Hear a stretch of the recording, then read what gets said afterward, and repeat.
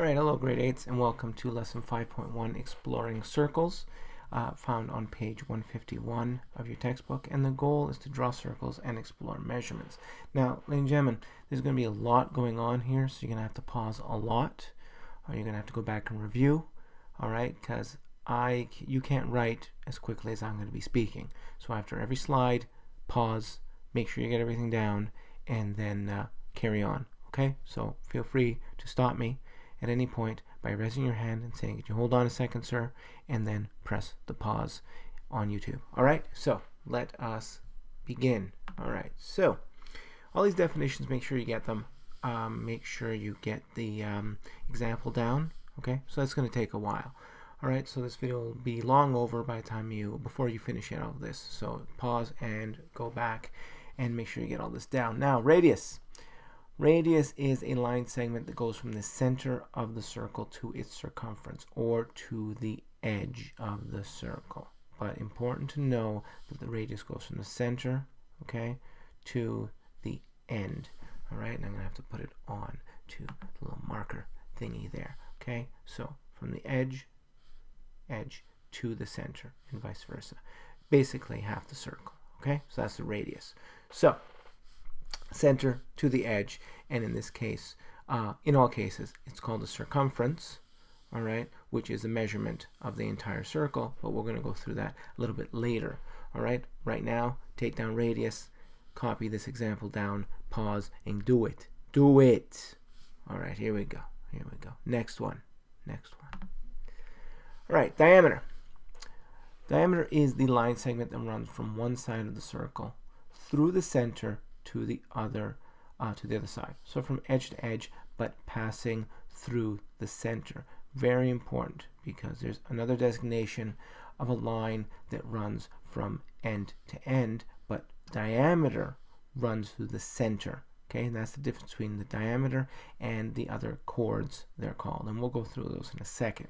But diameter is from one end to the other, passing through the center. All right, so take this Okay, first of all, start with this.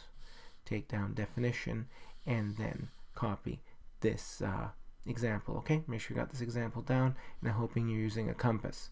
All right, so um, we'll pause for a second and then you can continue. In the meantime, after you've paused, welcome back. We'll move on to the next one. All right, circumference. Essentially, circumference is the measurement of the whole circle. Okay, it's the whole circle. Boundary of a circle, the length of this boundary. Essentially, it's the perimeter. Now, I'm going to try to write this down neatly, but I'm not really having very much luck. Okay, essentially, the circumference is the perimeter of the circle. Okay, the perimeter, so the boundary around, the measurement around the circle is the perimeter of the circle. Circumference is the measurement of a circle, which is the perimeter of the circle. Okay, so get that down. Hopefully you're able to understand this. And again, we'll review next day, so don't, don't stress out too much about this.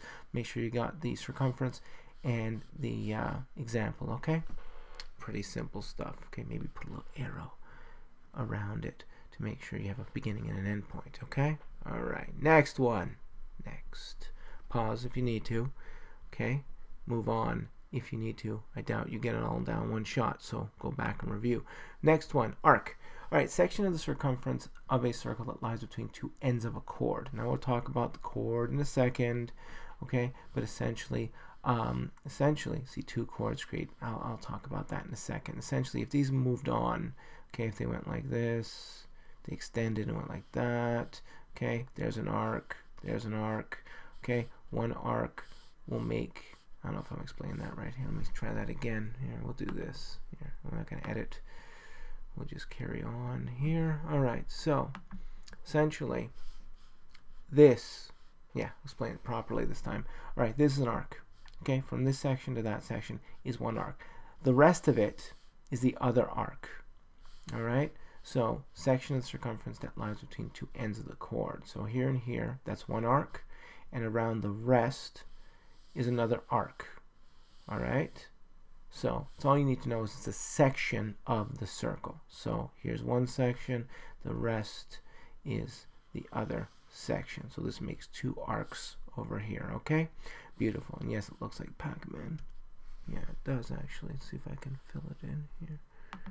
Alright, fill it in here. Well, it's going to take a while. Never mind. All right, so let's move on. All right, so make it black there again. And we go on. So pause if you need to. Copy this down, and we'll explain it again uh, next day. All right. Chord. Line segment that joins any two points on the circumference of a circle.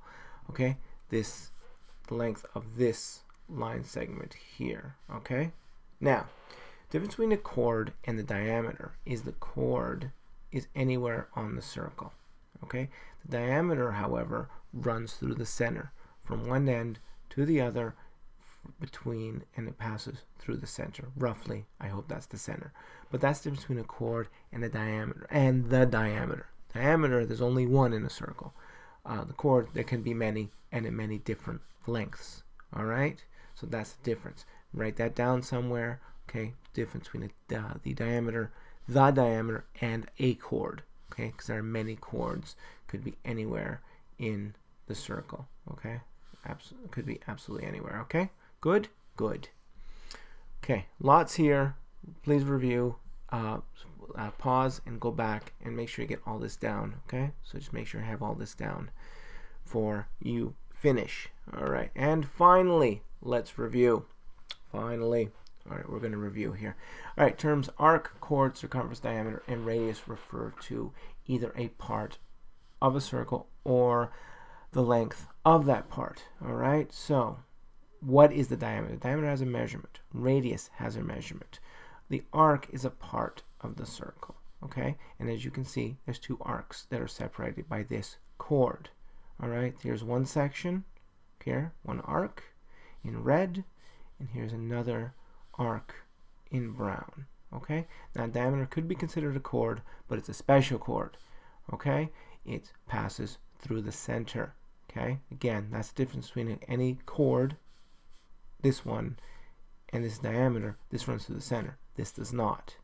All right, and the radius also from the edge to the center. Now, ladies and gentlemen, please make sure that you come prepared with a compass. All right, and a geometry set for the next day if you not have one. If you do not have one already, make sure you have that and are prepared. Okay, uh, get these down, go back, review, make sure you've got everything. We will review very briefly and we'll get to work. All right, so if there any questions, um, take them down.